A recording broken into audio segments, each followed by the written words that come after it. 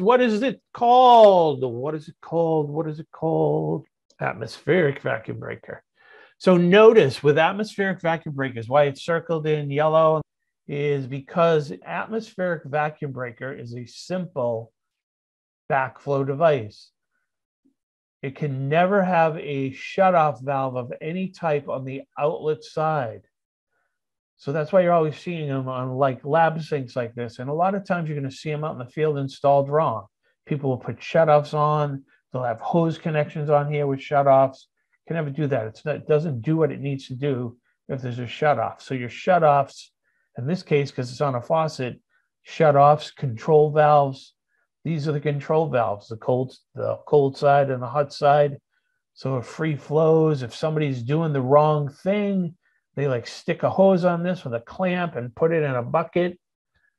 As long as it doesn't have a shut off and the, a negative pressure begins, it's all going to come pouring out this little bell. But if you put a shut off on that other side, all bets are off. You could pollute the potable water system. I think that's it.